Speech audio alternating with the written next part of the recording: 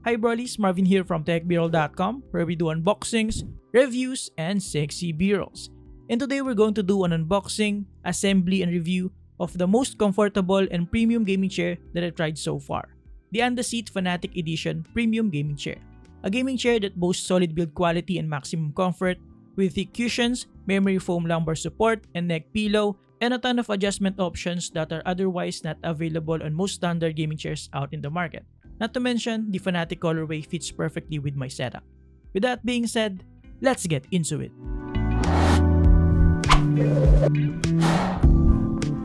Alright guys, the box of the Andaseat Fnatic Edition is a pretty standard brown box, but is significantly bigger and heavier than any gaming chair I've assembled so far. All of the package contents have their own protection aside from the massive foams in between each other. And right off the bat, you can definitely feel that even from the packaging itself, this gaming chair speaks premium. First thing out of the box is the huge backrest that is overwhelmingly heavy. I can stress it enough that this thing is quite hefty, which is a good sign actually in terms of build quality. Next, we have the 5-star steel base that is well protected by some net foam protection. After that, we have the bigger than usual neck pillow, nicely protected by plastic as well. Then we have the obviously massive lumbar support which I'm pretty excited about. After that, we have a large accessory box right here that like most of the package contents is fairly heavy as well.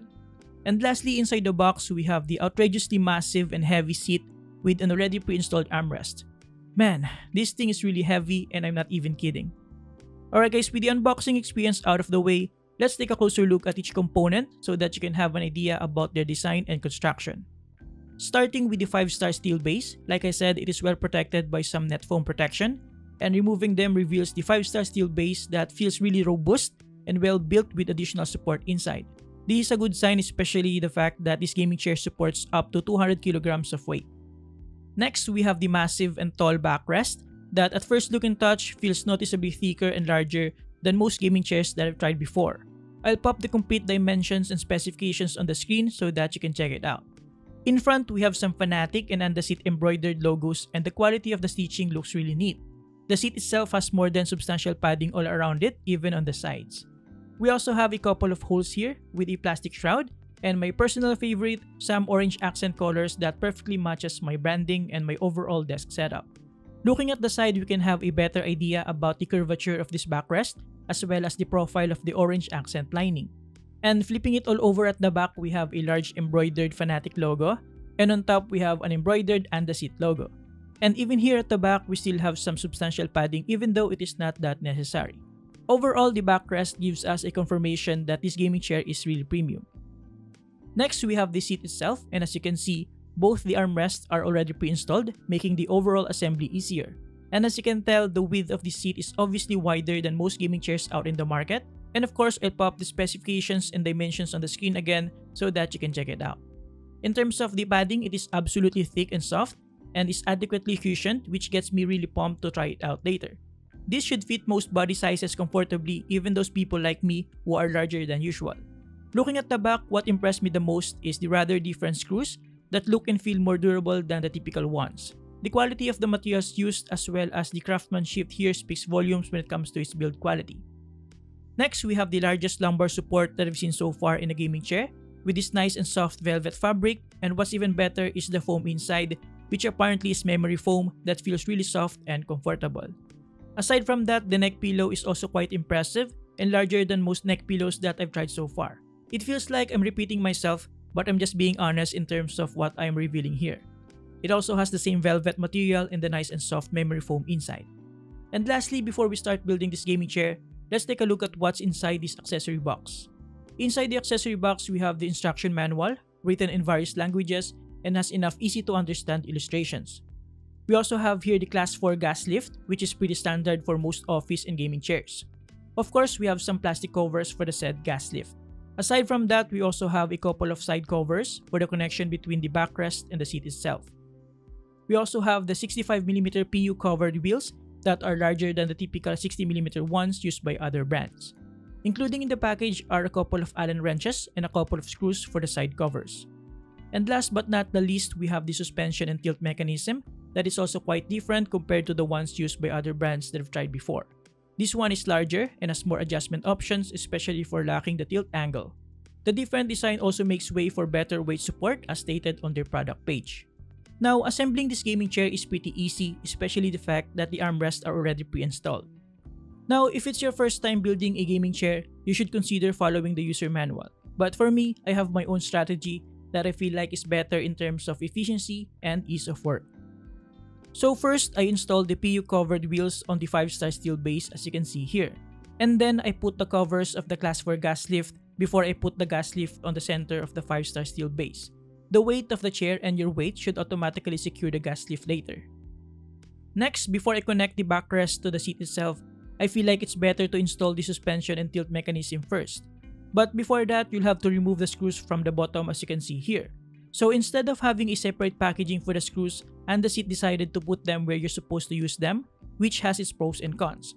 The pro is that you will not make mistakes on what particular screw to use, while the con is of course, removing the screws and attaching them again is another step on the process. Now, attaching the suspension and tilt mechanism is quite easy because there's a label where the front goes which I think is very vital. Imagine having it backwards and realize it once the chair is already built. That would be a pain in the butt, right? Now, here's a closer look at the different but better screws used in this chair. Now, after attaching the suspension and tilt mechanism, before attaching the backrest on the seat itself which will then add weight, I decided to install the seat to the gas lift first. With this, you can now easily install the backrest without lifting them both at the same time as seen on the user manual. But actually before that, I decided to install both the lumbar support and the neck pillow as it will be quite difficult to do so once the backrest is already attached to the seat. Now, like with the bottom screws, you'll have to remove the side screws as well from the side of the backrest before you can install it on the bottom seat. Now, all you have to do is line it up, secure it with a couple of screws and install the side covers using the included screws on the packaging. And that's about it for the assembly process. For the most part, it is quite easy, and the only challenging part of this process is just the sheer weight of the components. Other than that, the procedure is quite intuitive even without reading the manual. Alright guys, with the unboxing and assembly out of the way, let me share with you my thoughts about the Andaseat Fnatic Premium Edition gaming chair. Now, one of the things aside from the build quality that makes this gaming chair stand out is the amount of adjustment and flexibility it has. For starters, the armrest is 4D instead of 3D, adding one more adjustment option. You can adjust the height like so. You can also push this button to move it backward and forward, and this additional button will allow you to move it sideways. Aside from that, you can also rotate the armrest like so, allowing for completely flexible adjustment options to match your preferred ergonomic setting. As usual, we have the tilt adjustment lever that allows you to recline the backrest up to 160 degrees. In addition, we also have a couple of levers to adjust both the height of the chair as well as a lever for locking and releasing the rocking mode. Essentially, the rocking mode allows you to softly lean back and forth for maximum comfort and flexibility, and you can also lock it in any desired angle. And lastly, we also have this massive knob to adjust the tension of the rocking mode. Now in terms of comfort, like I said earlier, this is the most comfortable gaming chair that I've tried so far. The wheels are smooth enough to move this massive and heavy chair around with ease. The extra large lumbar support with a velvet cover and memory foam inside is extremely comfortable and support my entire lower back while the large neck pillow with the same velvet material and memory foam also supports my neck properly and helps a lot whenever I take a nap on this gaming chair. Well, pretty much all around this gaming chair is substantially well cushioned and the side supports are at just the right size and won't bother you at all when you are sitting straight. Now, what I like the most in terms of the cushions on this gaming chair is the actual seat itself. It is easily the thickest, softest, and most comfortable seat that I've tried so far. As you can see, it is massive and wide allowing to fit my relatively fat body. Not to mention that the sides are not too tall and it doesn't hurt my thighs at all. You can literally fit two small kids here. Now in terms of height compatibility of this gaming chair, I'll pop the complete dimensions and specifications again on the screen so that you can check it out. But I'm around 5'2 in height and in the tallest setting, as you can see, I can't reach the floor. But on the lowest setting, I can now reach the floor without using a footrest, so yeah. As for the quality of the craftsmanship, like I said earlier, it is well built. The embroidered stitching of the logos all around the gaming chair is nicely done without much imperfections as you can see here. So we have a bunch of Andaseat and Fnatic embroidered logos all around the backrest. Overall, I can stress it enough that the Andaseat Fnatic Premium Edition gaming chair is absolutely comfortable, and I find the smooth and flexible rocking mode quite handy whenever I want to lean back, relax, and even take a nap on this gaming chair. The wide width of the seat perfectly allows my body to sit on it properly without any pressure from the sides, and the huge lumbar support relieves some pressure from my lower back as well. My only gripe with this probably is the quite wobbly armrest, but other than that, this is the best gaming chair I've had so far. Now, with all that being said, I know it seems that my feedback about this chair is mostly positive, but there's one big caveat and that is the price. This premium gaming chair of course comes in a premium price tag. It is quite expensive at around 450 US dollars or around 22,000 pesos. Now, if you have the cash to spare, I think this is definitely worth considering given the overall quality and comfort this chair has to offer. On the other hand, if your budget doesn't allow you to grab this top of the line offering from Andaseat, or if you simply don't prefer the black and orange theme of this Fnatic edition, they still got you covered as they have a bunch of other gaming chairs ranging from 300 US dollars or 14,500 pesos to 450 US dollars. You can check out their website link below to learn more.